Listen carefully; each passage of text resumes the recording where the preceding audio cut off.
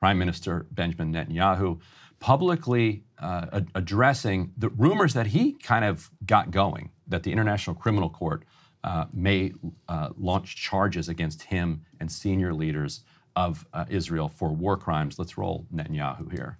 The International Criminal Court in The Hague is contemplating issuing arrest warrants against senior Israeli government and military officials as war criminals. This would be an outrage of historic proportions. International bodies like the ICC arose in the wake of the Holocaust committed against the Jewish people. They were set up to prevent such horrors, to prevent future genocides. Yet now, the International Court is trying to put Israel in the dock. It's trying to put us in the dock as we defend ourselves against genocidal terrorists and regimes, Iran, of course, that openly works to destroy the one and only Jewish state.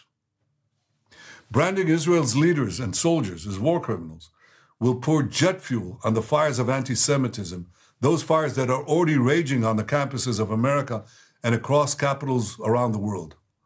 It will also be the first time that a democratic country fighting for its life according to the rules of war is itself accused of war crimes.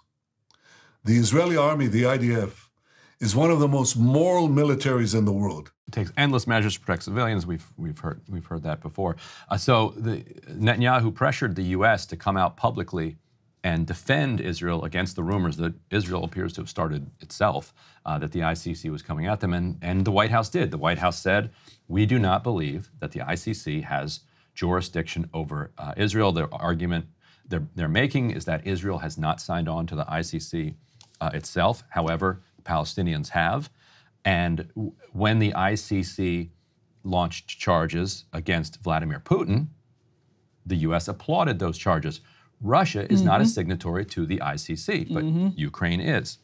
And that is why the ICC has jurisdiction. If you are committing a crime against a member, a signatory of the ICC, then the ICC has jurisdiction, whether you're a signatory or not.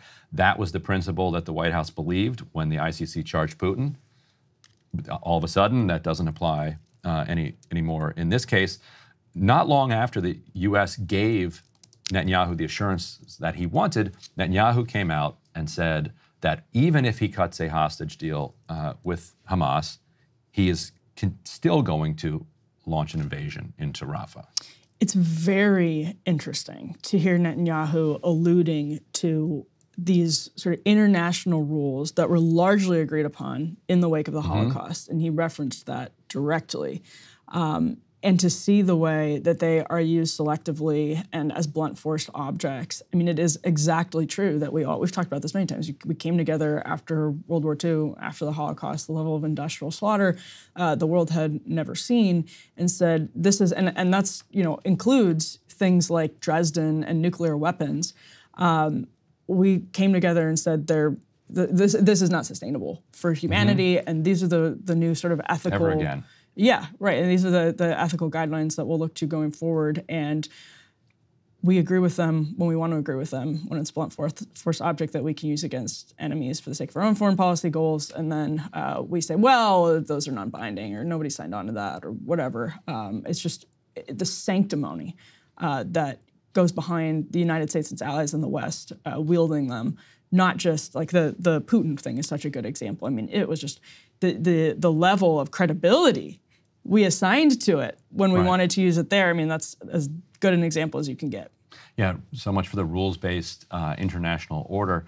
Uh, meanwhile, there's there's reporting. If we can put up this uh, next element, uh, that the U.S. is contemplating accepting significant numbers of Palestinian uh, refugees uh, who are who are trying to flee Gaza. And what's what's fascinating about uh, this news is that you know for the most part uh, we we have accepted very few dozens of, of Palestinian refugees o- over the years, and when we have, uh, it's it is refugees who are claiming political asylum uh, from Hamas, and Hamas is uh, a, a vindictive organization toward its critics, absolutely, and Yeah. so uh, people who are kind of dissidents again and, and critics of Hamas like ha- have Some have been legitimately granted refugee status here in the United States. Not many. Like, It's- not many, Yeah. like dozens. yeah. no, I, I pulled the numbers last night. It's actually kind of shocking. Like so, 60 something, or what is it? last 10 years, U.S. has resettled more than 400,000 refugees from CVS, CBS, uh, fleeing violence. And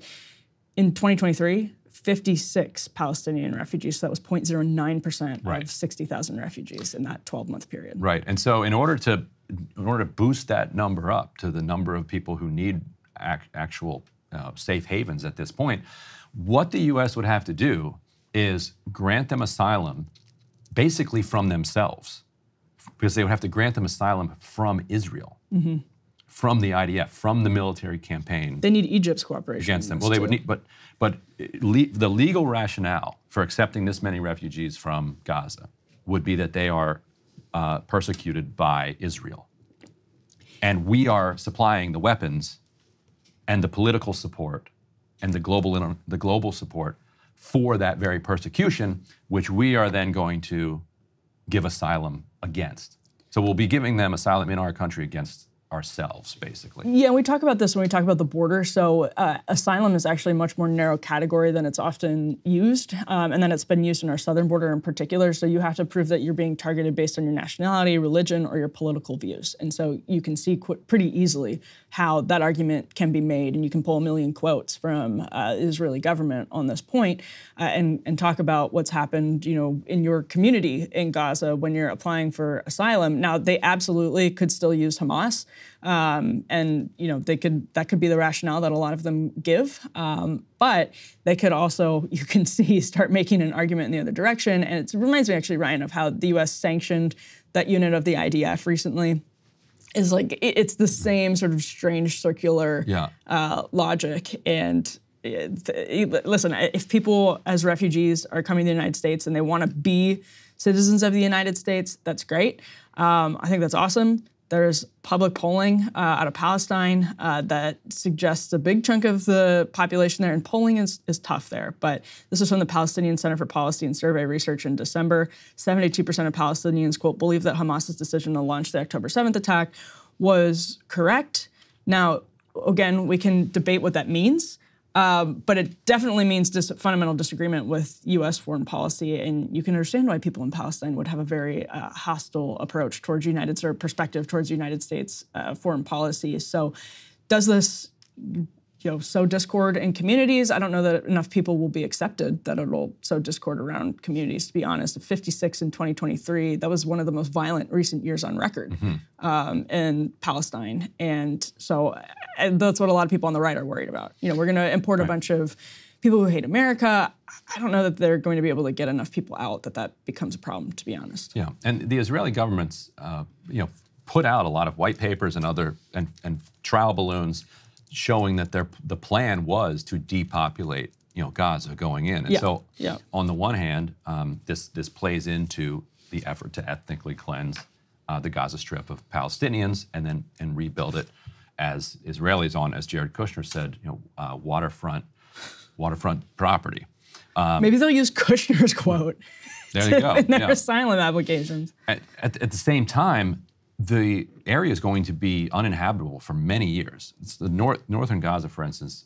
Um, you know, so a normal bomb ordnance getting dropped from uh, a plane in a battlefield or fired elsewhere has something like a 10% failure rate. Israel does not use these weapons normally. You know, they're they're dropping them Yeah. in areas where they're going to have a much higher failure rate. Yeah. And so maybe you're pushing 20% failure rate.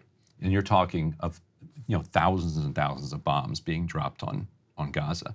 Those are fairly stable unexploded ordnance until they're disrupted by a bulldozer or some type of construction during a rebuilding process. The, the, it's impossible to overstate how time consuming it is to extract these weapons.